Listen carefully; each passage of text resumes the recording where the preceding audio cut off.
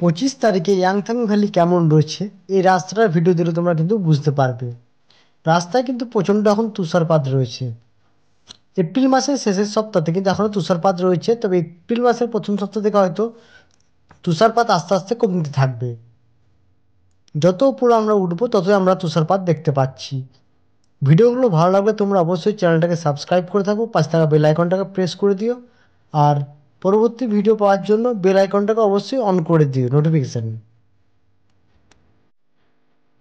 আমরা কিন্তু উপরের দিকে আস্তে আস্তে জিরো পয়েন্টের দিকে যাব। জিরো পয়েন্টে কিন্তু আরও তুষারপাত আছে। তো জিরো পয়েন্টে গিয়ে আমরা বরফ নিয়ে মজা করব, বরফ নিয়ে অনেক কিছু খেলাধুলা করব। তো চলো, আমাদের রাস্তার ভিউ তোমরা দেখতে থাকো এবং ভিডিওগুলো কেমন হচ্ছে প্লিজ একটু কমেন্ট করে তোমরা জানিও। মে মাসের প্রথম সপ্তাহে তোমরা কারা কারা Yumthang valley zero point north Sikkim আসতে চাইছো প্লিজ তোমরা একটু কমেন্ট করে জানিও। তোমাদের জন্য আরও ভালো ভালো অনেক কিছু ভিডিও আস ওয়েট করে আছে। তোমাদেরকে সেই ভিডিওগুলো আস্তে আস্তে আমরা পাবলিশ করব এবং তোমাদেরকে আরও আনন্দ দেবো সিকিমের এই ভিডিওগুলো দেখে তোমরা আনন্দ পাবে। এবং এখন তো কলকাতায় চব্বিশ ডিগ্রি, পঁয়তাল্লিশ ডিগ্রি টেম্পারেচার উঠে যাচ্ছে। সেখানে এই বরফগুলো দেখে তোমরা মজা নাও। এবং সিকিমের যে ওয়েদার দারুণ সুন্দর ওয়েদার কিন্তু এখন।